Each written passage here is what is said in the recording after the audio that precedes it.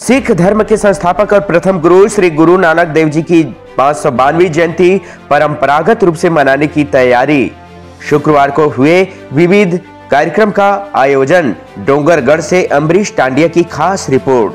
हर साल कार्तिक पूर्णिमा के अवसर पर समाज अपने प्रथम गुरु की जयंती को सिख धर्म के अनुसार मनाता है। श्री गुरु नानक देव जी की पाँच जयंती के लिए गुरुद्वारे को सजाया गया।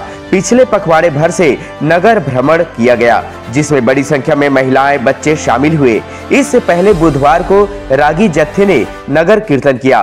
पंच प्यारों की अगुवाई में शहर में भव्य शोभा यात्रा निकाली गई। शोभा यात्रा का सामाजिक, गैर सामाजिक वर्ग समेत अन्य राजनीतिक दल के लोगों ने स्वागत किया। गुरुद्वारा साहिब से श्री गुरु ग्रंथ साहिब की विशाल शोभा यात्रा में बैंड पार्टी व निशान साहिब की सेवा करते लोग शामिल हुए।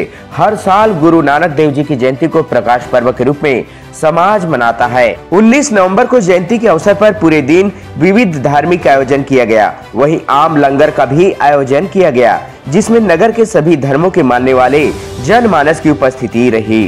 डोंगरगढ़ से अम्बरीश टांडिया की खास रिपोर्ट।